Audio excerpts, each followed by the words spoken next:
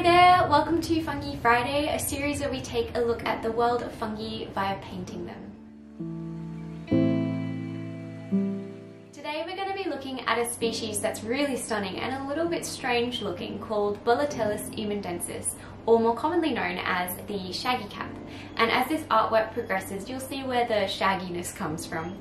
So unlike the stereotypical gilled fungi that we're all used to seeing, uh, this species belongs to the Boletaceae family. This is a family of fungi that have pores instead of gills on the underside of the mushroom cap.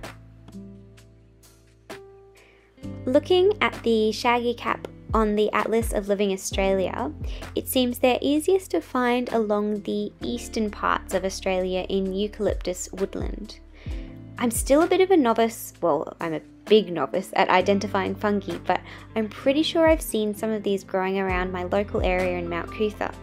And there was a magpie walking by when I saw it, so hence the magpie that appears in this painting. Painting wise, I wanted to make something that really complemented the beautiful colours that are already found in this fungi species. So I had a lot of fun coming up with different background colours in the leaves and the leaf litter on the floor. And the flora and fauna included uh, such as the wattle, the paper daisies and the little yellow buttons. Also, just a side note, if you're watching these YouTube videos as I'm releasing them, you might notice that last week I missed a Fungi Friday and that this week you're getting two Fungi Fridays. I apologize for that. Uh, I'm actually mainly doing these on Instagram and TikTok and then putting these up as a resource later so that people can refer back to them if they have the calendar. This YouTube format's still new to me, so it just takes me a bit longer to put together, so yeah, I missed it last week. Sorry about that.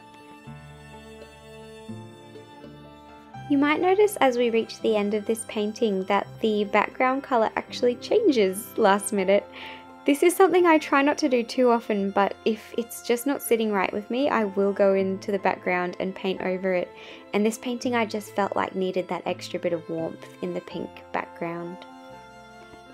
And this is the finished piece. Little magpie friend with our shaggy caps. Anyway, that's it for this week. I hope you enjoyed the species and I will see you again next week with another fungi species. Bye!